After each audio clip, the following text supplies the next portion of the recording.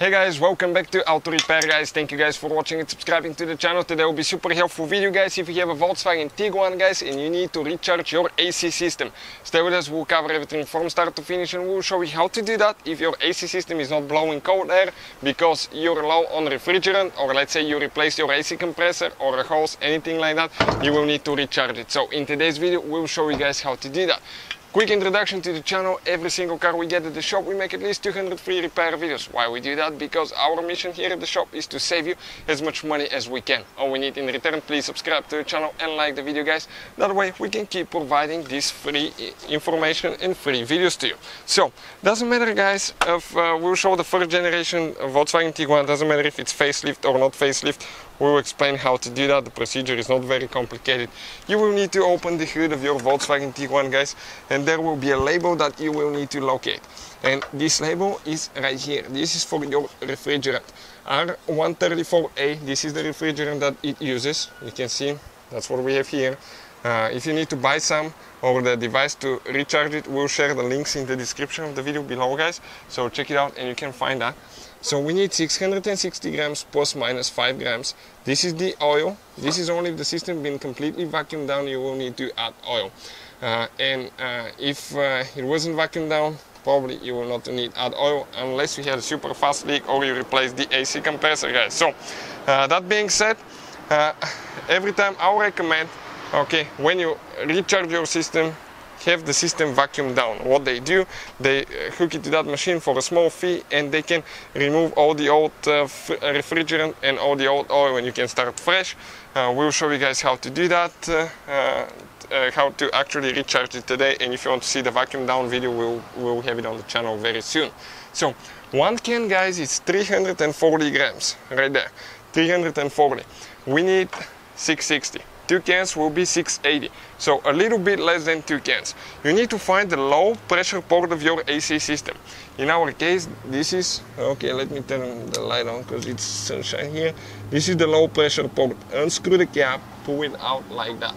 So okay that being said guys you need to install the can on the recharging device connect it there. So you lift up the device push down and, and connect it Make sure you do that to the low pressure port, not the high pressure port. I'll go inside guys and I'll show you, okay, what we need to do now. Okay, it's super hot today by the way.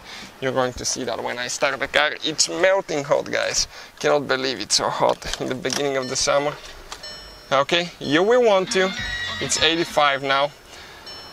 Definitely feels hotter in the car. You will need to guys go ahead and turn, okay, your fan on. Turn the fan on turn the AC on and put it all the way on cold. Okay, all the way on cold and now we're going to go outside and we'll show you guys okay what we need to do and how we need to recharge the system. So let's show you guys okay how to do that now. So you're going to press the button and start adding freon guys. Okay, you can see it's taking it. Now there is something else. Okay, I'm going to discuss that right before we finish. And we'll talk about that as we go. So we'll add the first scan. You hear your fan will turn on. That's a good, good indicator. If the fan is on, that means that, okay, uh, the AC pressure switch started reading actually already some content, so that's good. Another thing, guys, if your radiator fan doesn't work, your AC will not work as well. So we'll keep adding the freon. It will take a little bit of time. Okay, and once it's done, we'll continue, guys. So the first can is empty, took us about five minutes, didn't want to waste your time. I'll turn the car off.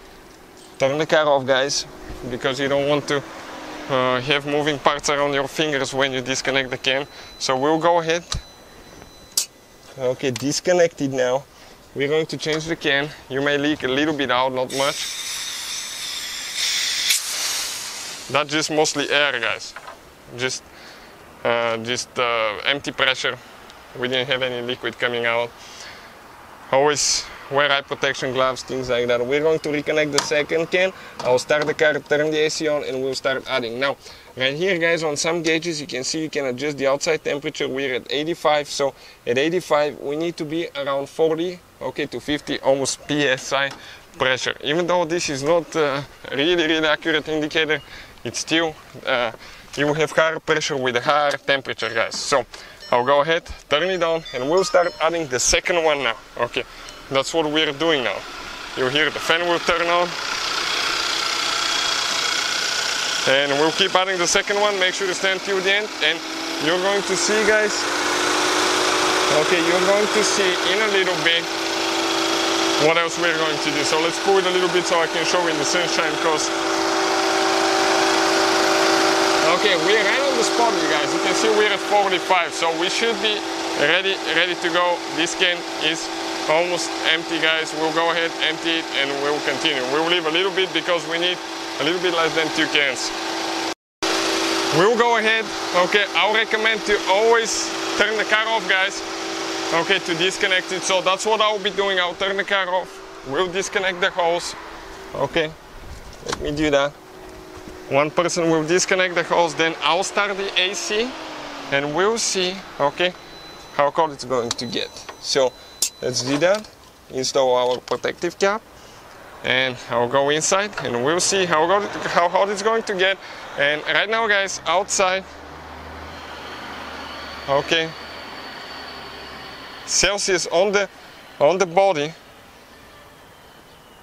Okay, I'm trying to focus here. It's so bright. 62 degrees Celsius, guys.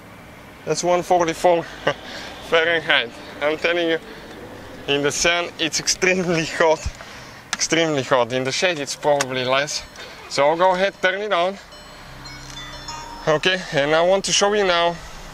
Okay, the dash itself, it's at 177 degrees Fahrenheit.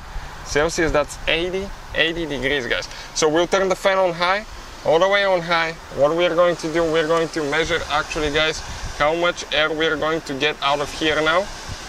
So let's calculate now and see if it's going to start dropping.